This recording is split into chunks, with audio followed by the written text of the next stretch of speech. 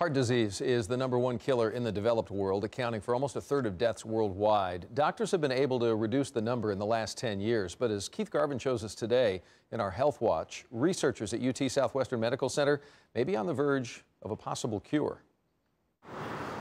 In the lab at UT Southwestern Medical Center in Dallas, perhaps the most promising discovery ever in the fight against heart disease.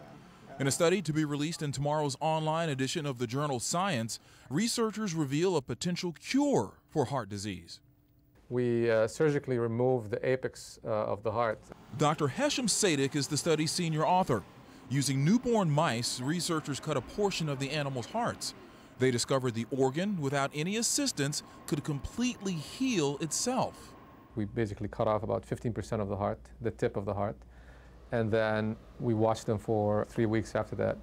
And then after three weeks, uh, we could not distinguish them from the normal ones. So everything grew back, grew back uh, and the heart function was completely normal. The problem is the heart of a mammal forgets how to heal itself as it gets older.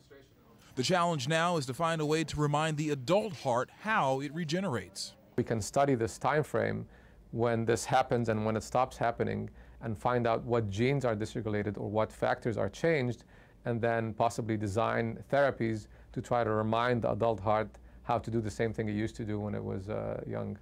Doctors also want to find out how and why the heart turns off the remarkable ability to regenerate.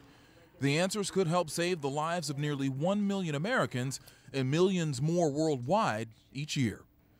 Keith Garvin, CBS 11 News. One other note on this story, doctors at UT Southwestern say another step in the research will be to determine if other organs besides the heart and liver have the ability to regenerate, but no doubt they're onto something pretty neat over there.